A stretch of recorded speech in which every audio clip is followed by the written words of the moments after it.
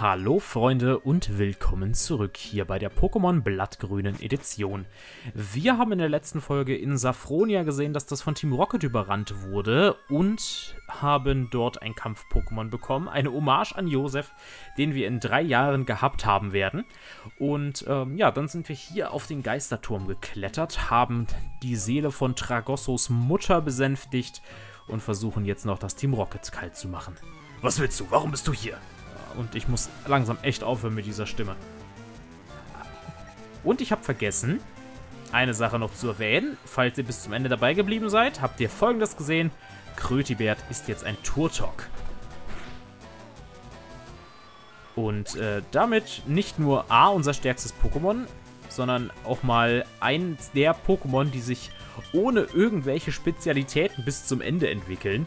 Äh, ziemlich interessant, das Ganze, dass das das einzige Pokémon im ganzen Team ist, was keine spezielle Entwicklung, was keine spezielle Entwicklung hat. Weil Vulpix brauchte einen Stein, Nidorina brauchte einen Stein, Ultrigaria braucht einen Stein, Kadabra mussten wir tauschen, auch wenn ihr das ja nicht gesehen habt, weil ich es auf dem Handy machen musste, aber dennoch ist es ja so passiert. Und unser letztes Teammitglied, was wir bisher noch, äh, noch nicht haben, besitzt keine Entwicklung. Und deswegen ist Krötibert wirklich das einzige Pokémon, was sich ausschließlich durch Level-Up entwickelt. Und das ist, das ist irgendwie seltsam, der Gedanke daran, finde ich. Na gut. Ich gebe auf. Finde ich gut so. Das werde ich dir nie verzeihen. Ja, hau ab. Ist mir egal, ob du mir das verzeihst oder nicht. So, wir schnappen uns Lindo Queen und haben noch die anderen beiden Rüpel. Da war so ein alter Knacker, der behauptet hat, wir würden Pokémon quälen. Willst du meine Meinung hören? Eigentlich nicht, nein. Nein? Mm, -mm. Nicht wirklich. Ich glaube, du willst deine Meinung wahrscheinlich selber nicht hören. Na, Smogon, wie geht's so? Was machen wir am besten hier mit dir? Du wirst nämlich einen Angriff auf jeden Fall überleben. Ja, ja, guck mal, sogar recht gut überleben. Nicht mal ein Megakick hätte das irgendwie... Ach, okay, ein Finale. Ja, ist, ist in Ordnung. Mit Volltreffer... Ach, mit Volltreffer. Ernsthaft? Sowas Sinnloses. Die schönen Erfahrungspunkte, die jetzt keiner kriegt. Sowas sinnlos. Ich bin so froh, dass ich keine Nuzlocke-Challenge spiele. Das wäre jetzt echt Traumato. For real. Naja, wir machen das schon irgendwie mit Gold Ranch. Ja, guck mal, hier kommt auch mein Volltreffer. Ja, das wäre jetzt echt bitter gewesen, wenn dadurch jetzt Lindo Queen ausgeschaltet worden wäre. Bitte lass mich in Ruhe. Ja, ich lass dich in Ruhe. Du hast mir Queen gekillt. Pokémon sind nur zum Geldverdienen gut. Halte dich aus unseren Angelegenheiten raus. Halte du dich doch mal aus meinen Angelegenheiten raus. Denkst du, ich will die ganze Zeit gegen euch Deppen kämpfen? Ich kann mir auch Schöneres vorstellen. Du wirst niemanden retten. Ich will den alten Mann hier retten. Ich will nämlich wissen, ob der irgendwas gewonnen hat bei seinen komischen Preisausschreiben, die er die ganze Zeit macht. Los, Snaggy, du bist dran. Hier, ein bisschen Zerschneider. So sieht das gut aus. Ich fasse es nicht. Ey, Finale mit Volltreffer. Sowas Sinnloses. Deswegen ein Pokémon zu verlieren. Naja, ist egal. Wir haben nur noch zwei Pokémon übrig. Die sollten auch nicht mehr allzu viel aushalten. Ja, ein Radfratz, guckt mal. Das kriegt ihr auch wieder ein bisschen Säure um die Ohren gepfiffen. Dann war es das mit Radfratz auch. Ciao. Und last but not least, ein Radikal. So, du kriegst auch ein bisschen Säure um die Ohren. Prost Mahlzeit. Ach, du überlebst das. Na gut. Dann triffst du uns nicht mit Grimasse. Und dann nehme ich eine Ranke und klatsch dich um. Und dann ist die Welt wieder in Ordnung. Leg dich nicht mit einem Team Rocket an. Doch, tue ich. Du wirst nicht ungestraft davonkommen. Bin ich schon. Danke der Nachfrage. Was? Du kommst, um mich zu retten? Vielen Dank, aber ich bin freiwillig hier. Ich kam her, um die Seele von Tragossos Mutter zu beruhigen. Die Seele des Knogger sollte nun in das, die ewigen Jagdgründe eingekehrt sein. Trotzdem danke ich dir für deine Sorgen um mich. Folge mir in den Pokémon-Club am Fuße dieses Turms. Ja, moin. Oliver, du kannst dein Pokédex nicht vollenden, wenn du deinen Pokémon nicht genügend Liebe und Respekt entgegenbringst. Dies wird bei deinem Abenteuer helfen. Die Pokeflöte. Schlafende Pokémon wachen auf, wenn sie das Spiel der Pokeflöte hören. Du kannst damit alle schlafenden Pokémon wecken. Das ist gut zu wissen. So, wir schnappen uns das Radl. Und sind damit auch in Lavandia fertig. Ja, und jetzt hätten wir folgende Möglichkeiten. Entweder wir gehen bei Lavandia in den Süden auf die Route. Oder wir gehen im Westen von Prismania auf den Fahrradweg. Und ich entscheide mich für den Fahrradweg aus dem einfachen Grund, dass der wesentlich schneller gehen sollte. Den könnten wir vielleicht, je nachdem, wie stark die Gegner sich da uns entgegenwerfen werden, wie gut ich meine Pokémon auswähle, ähm, werden wir das heute wahrscheinlich sogar noch schaffen. Ach ja, und je nachdem, wie lange es dauert, eins der schlafenden Pokémon zu fangen, Schrägstrich zu besiegen, äh, ist immer ein bisschen schwierig. Vor allem, weil das, was ich mir gerade im Kopf überlegt habe, wahrscheinlich gar nicht so klug sein wird. Äh, naja. Wir machen das schon. Vuldona kann ich jedenfalls vergessen. Wurscht. Hi, Relaxo. Na du? Hm, ich mach mal das hier. Davon kriegt ihr nichts mit, aber ist besser so. Die Pokeflöte spielen.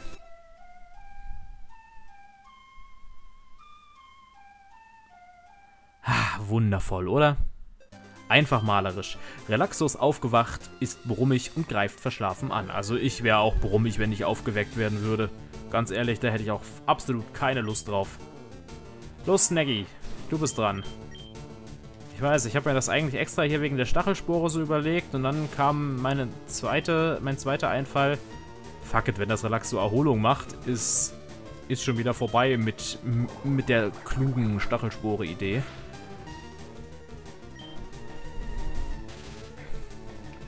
Ja, deswegen versuche ich einfach mal ein paar Bälle zu schmeißen. Neun Stück haben wir nur. Vielleicht reicht es, vielleicht reicht es nicht. Wir werden es sehen. Falls es nicht reicht, ist es mir auch wurscht. Du pennst nicht, Kollege. Nee, aber jetzt hat er schon mal was abgezogen bekommen. Das ist ganz gut. Dann kann er jetzt jederzeit Erholung einsetzen. Dann würde die Maronbeere kommen. Ja, guck mal. Erholung, Schlaf, Maronbeere.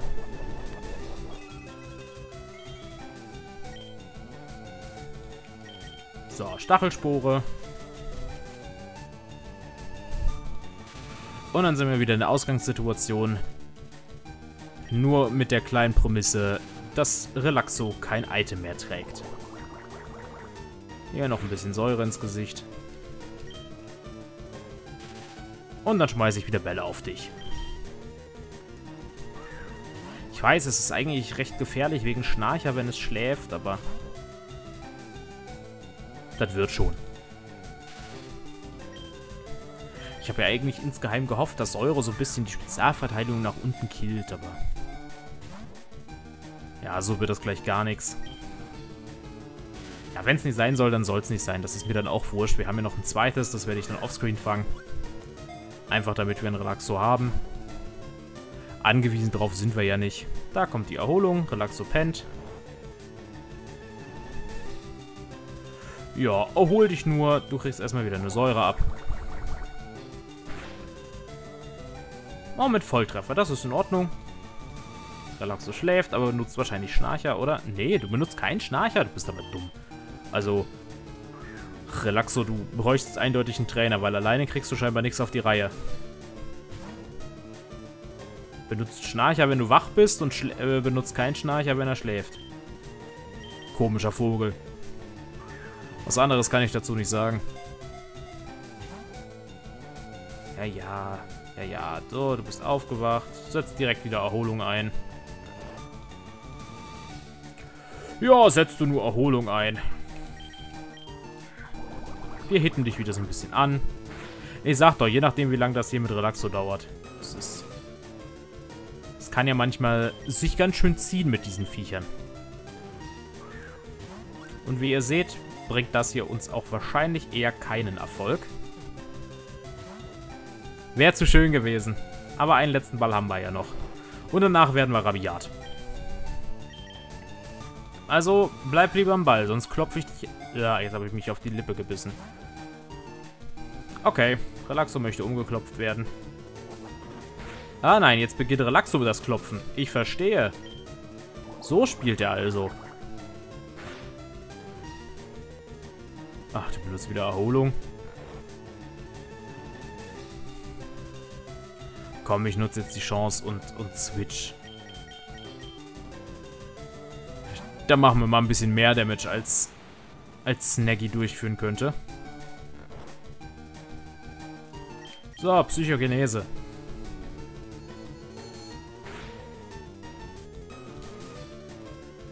Das ist gar nicht mal so stark. So, Psystrahl. Ah, mit Volltreffer, naja gut. Bitte keine Erholung. Gähner, okay. Ja, mach Goldranch ruhig schläfrig. Du bist jetzt eh besiegt. Pech gehabt.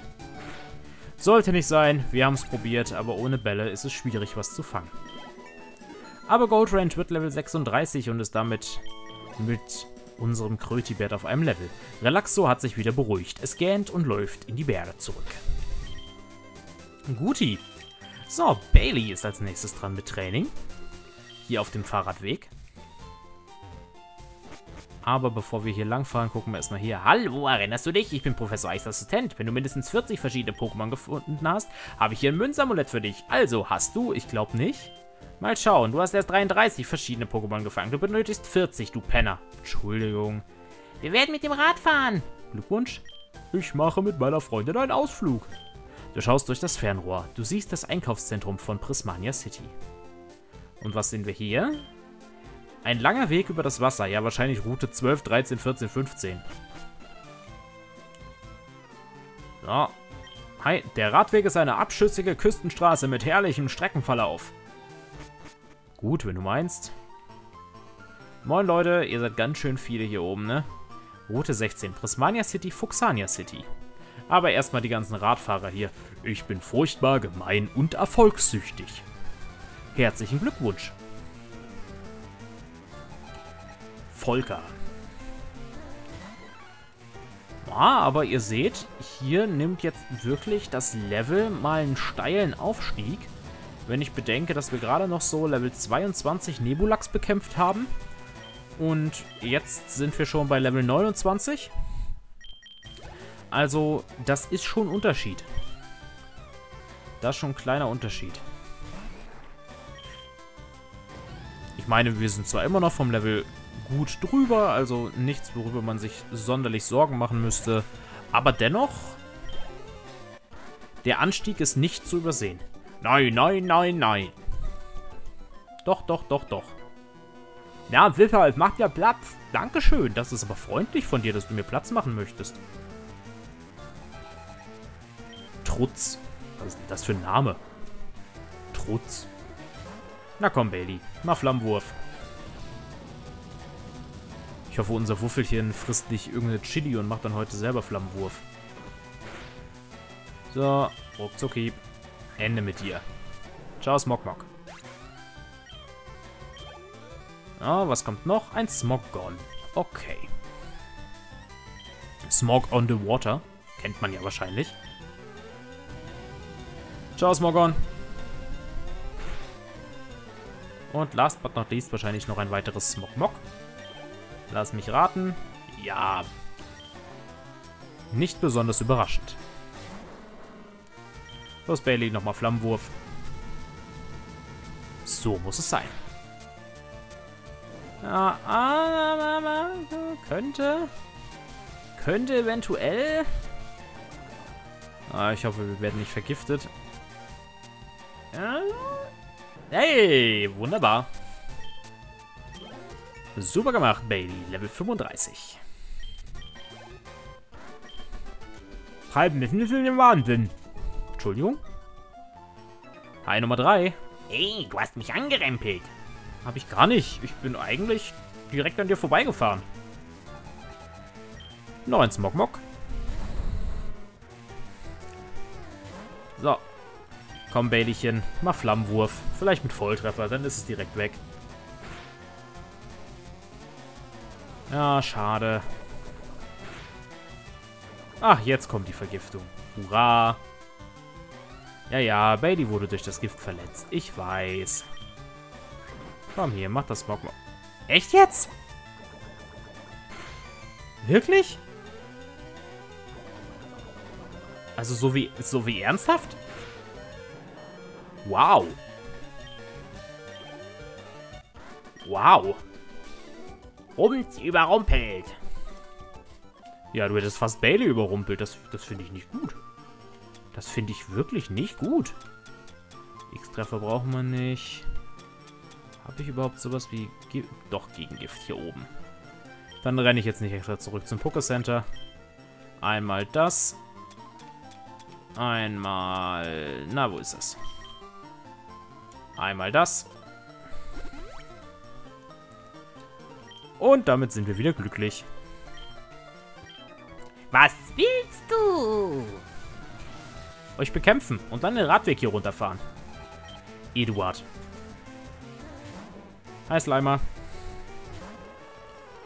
Guck mal, mein frisch aufgefülltes Bailey. Ja, ja, ja. Oh, hat gereicht. Hurra. Hätte ich nicht mit gerechnet. Und ein Smogon. Ja, hier merkt man, dass er der erste von, von den sechs Trainern ist. Wobei der sechste war jetzt auch nicht viel stärker mit Menki und Macholo, Macholo aber...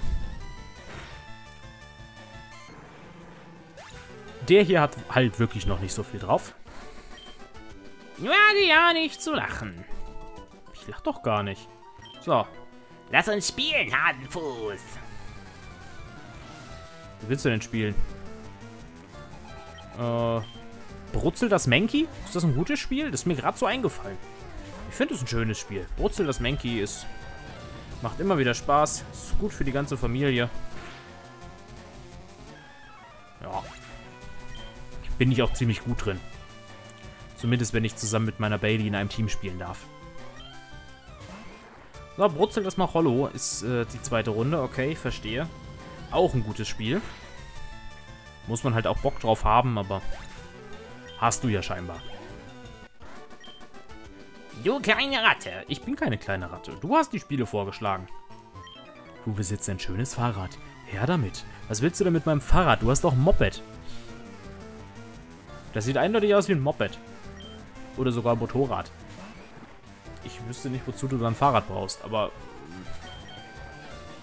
Wahrscheinlich werde nur ich angekackt, wenn ich kein Fahrrad mehr habe von der Fahrradwegwache, weil mir hier ja nur mit Fahrrad draufkommt.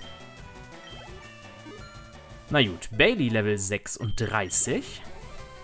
Das finde ich supi. Dann hat Bailey ihre Level eigentlich schon gemacht. Dann müssen wir mal gucken, dass Lindo Queen ihre Level jetzt noch macht. Sollte ja eigentlich gegen die Team Rocket Viecher kämpfen, aber... Naja, was nicht sein soll, soll nicht sein. Dann macht sie das halt hier. Na, Lindo Queen. So, hier die 34 und als nächstes noch ein Hollow. Vielleicht kriegt das ja sogar einen Mega-Kick ab. Vielleicht treffen wir damit.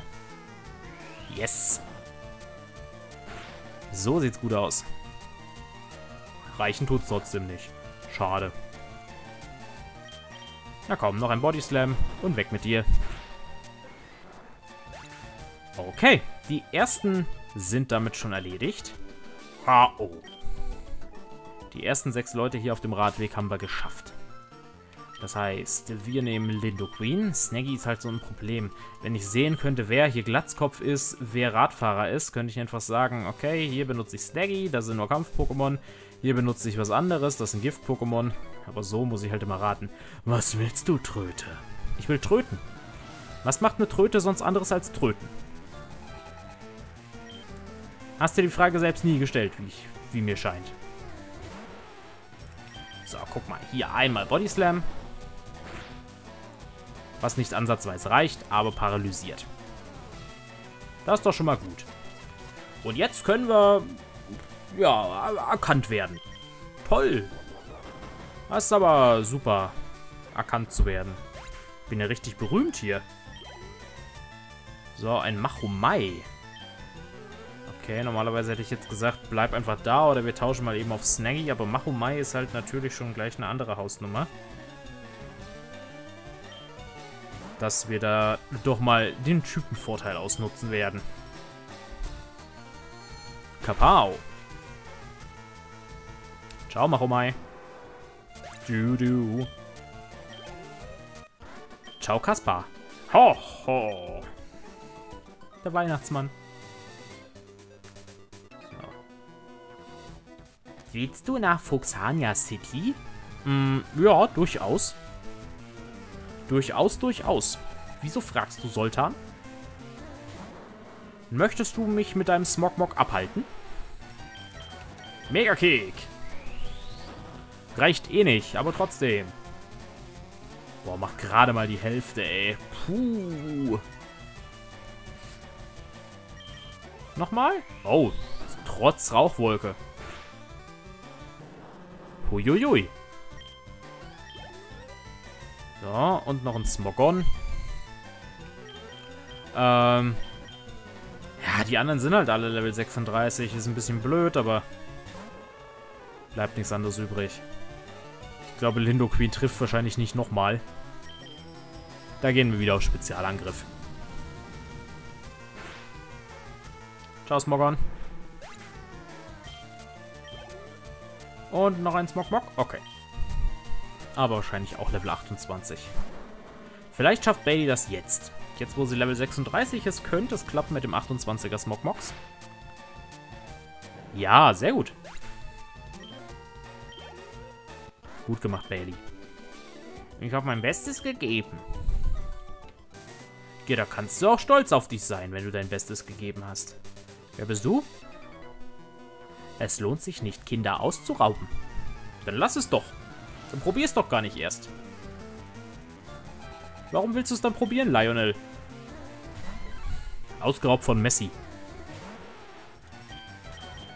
So. Kapau. Menki weg. Was haben wir noch? Ein Rasaf. Wollen wir es mit Snaggy probieren? Ich meine, es hat zwar noch die Kopfnuss von Relaxo drin, aber... Das sollte es doch trotzdem hinkriegen. Es ist nur ein Rasaf. Das macht Raserei. Ja, selbst wenn jetzt nochmal Raserei... Ei. Energiefokus. Okay. Hm, Muss mal gucken. Ach, jetzt kommt die Verteidigungssenkung. Ah, wirklich, toll, jetzt. Und geh... Du verdammtes Mistviech. Hast du ein Schwein. Genau 29 äh, Lebenspunkte. Ach, Gott, oh Gott. Na gut. Ist nicht weiter schlimm. Ist schade um die Erfahrungspunkte für Snaggy. Na gut. Wenigstens Lindo Queen Level 35. Die Luft ist raus. Ja, meistens ist die Luft auch draußen. Da haben wir noch einen. Da haben wir noch einen zweiten. Mein Pokémon entwickelt sich nicht weiter. Lass mich raten, du hast einen Maschok. Hey, German hat einen Maschok. Super überraschend. So, Body Slam. Reicht mal wieder im Leben nicht. Na, die Hälfte. Was haben die alle mit ihrer Gesichte?